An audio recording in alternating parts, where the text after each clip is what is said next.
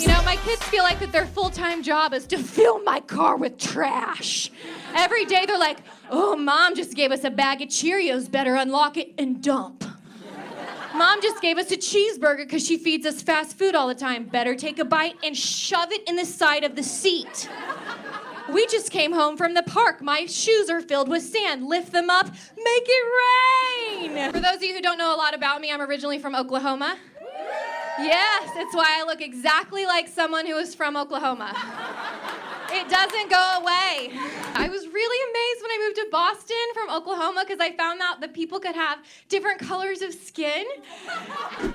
I went to uh, Berklee College of Music, though, which is where I met my husband Daniel. I was shocked that I met him there because there's only two types of guys that go to Berklee, and they either smell like Guitar Center or they're super gay.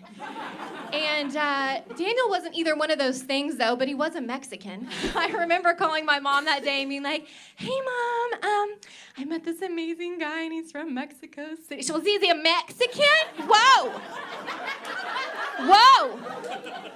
And I said, "Well, he is from Mexico. Was his parents Mexican too, Cammy?" Is it a big family? It's like 5,000 people Mexicans in his family? There's like five of us. She's shorter than you. Is he gonna be like a baby boy, like a little Mexican baby? You're not gonna have to get married. You're just gonna have that toddler boy. You're gonna put a bottle in his mouth and take him as a lap baby on an airplane the rest of your life. You don't even need to get married. You already got a baby. If you guys don't know a lot about cesareans, and you need to get some books on medieval torture.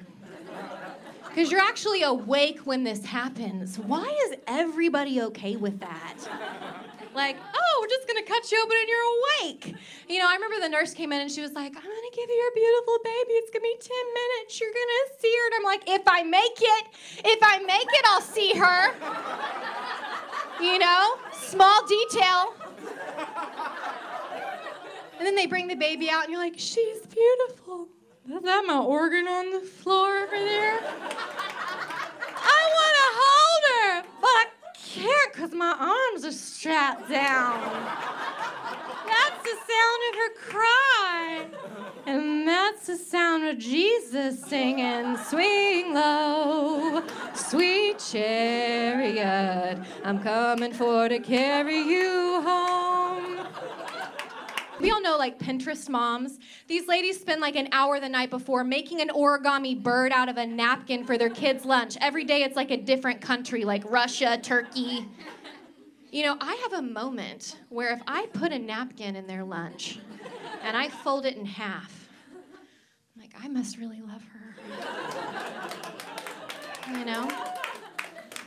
There's also the tight ass workout clothes moms. These guys have like a nine seater black SUV, newly leased, huge sunglasses, tight ass workout clothes, and they're just going. You know, they're just going. You don't know if they're coming from a workout. You know if they're going into one. You know, you don't know if you're in one with them right now. You don't know if you should just join in one.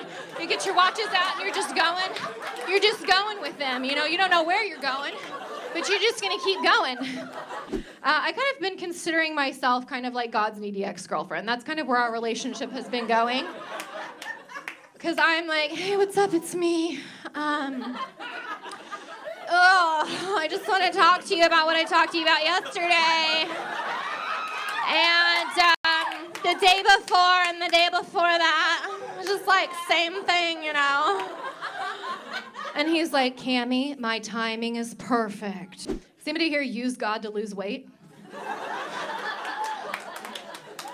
Even people here don't believe in God, you guys call on him, you're like, yeah, I need some help. But really, I mean, for me, losing weight's really a big battle between my flesh and my spirit. Because my flesh is this real happy lady. And she likes to go to McDonald's and get shamrock shakes and double cheeseburgers. And every time I see golden arches, I gotta pull off and get in the drive through. I gotta roll my window down and sit in the sun with no AC and no heater. Because I like fresh air and just sit there and love myself. Because it's girl time. I'll get large Diet Coke and I listen to the radio. And I munch on show my fries and I sit there and then I get off the highway again because I saw another arches and it calls my name. I just want to love myself. And my spirit is like, shut up. You're the fatty. Be a pro. Donate. I thought you were doing this with God. Come on, put the fork down. You know better. Be filled with the spirit and just be skinny in the name of Jesus. And God is like, Cammy, this is why we don't talk anymore. Thank you so very much.